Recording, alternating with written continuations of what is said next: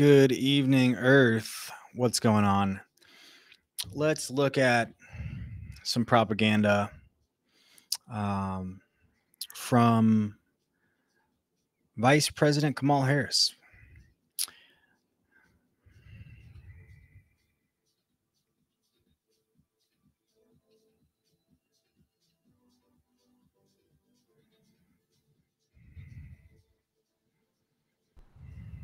Yesterday we learned that Donald Trump's former chief of staff, John Kelly, a retired four-star general, confirmed that while Donald Trump was president, he said he wanted generals like Adolf Hitler had. Donald Trump said that because he does not want a military that is loyal to the United States Constitution. I've had enough already. Vice President Harris what are you doing? You are violating the Hatch Act, first off, by getting in front of the White House and a presidential seal to attack your political opponent. One. Two. Donald Trump is the best ally that Israel has. His daughter is Jewish. His grandchildren are Jewish. Okay. I have a photo then I'm gonna. I, I need to switch to. Let's look at this photo.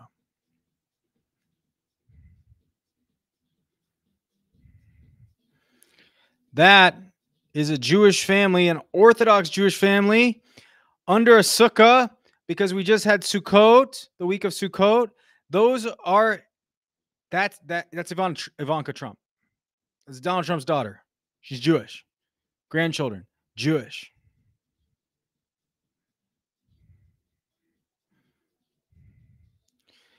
Here's a collage of events of Donald Trump.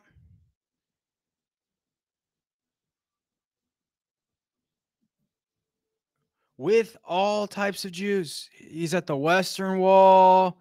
He's got probably some Chabadnik guys.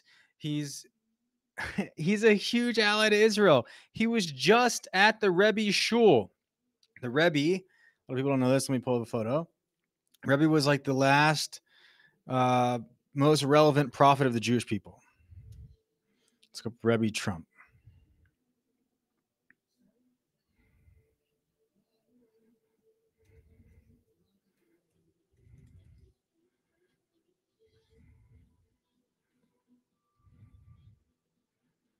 Okay.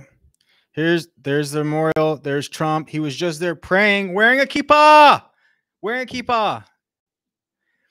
This is this is absurd. First off, Kamala Harris, you in general are anti Israel. What you did this past spring threatened the ability for the nation of Israel to get after Sinwar, who is a demon. This guy's a demon. He was a Satanist. He serves literally the Antichrist from Iran, the Dajjal, Ayatollah Khamenei. And you are have been impressing upon us the the the importance of not accomplishing those objectives. You, Kamala Harris, are the one whose chief of staff has very close ties to Iran. You are the one whose chief of staff has very close ties to the person who just leaked American intelligence about our ally Israel's battle plans with Iran. You are the one who's been caught meeting with imams who are close to Iran. You are the one who's anti Israel. Your administration is the one who just passed a directive through the Department of Defense to authorize violence to be used against American citizens. That's you, Kamala. Your administration weaponized the Department of Justice to go after social media companies to censor free speech. Your administration did that. And as Biden testified recently, you were heavily involved. So I have to question the validity of General Kelly's testament coming this late in the game. A man who was fired, who could reasonably be bitter, who could have gotten a nice check to come out and say something controversial, and who's been backed up by whom? John Brennan. John Brennan, who committed what? treason John Brennan committed treason. When? When he authorized the use of the CIA to operate domestically within the United States to spy on members of Congress and compromise them in their votes. That is treason. He was never prosecuted. He is the one on media right now backing up General Kelly. And who else? John Bolton, the biggest war hawk in U.S. history. So I'm sorry if I don't believe anything you just said. Your history of lies indicates that you're incapable of also telling the truth. Does Donald Trump always tell the truth? No, he's a politician. I don't trust everything he says. Absolutely not. But you're worse, and your administration's worse. And we know it by the fruits of that. So it's absurd that you're you're stooping to this this low of an incident. And what you did is is an affront to all the members of the tribes of Israel, to all those who call themselves Jewish. This was an affront.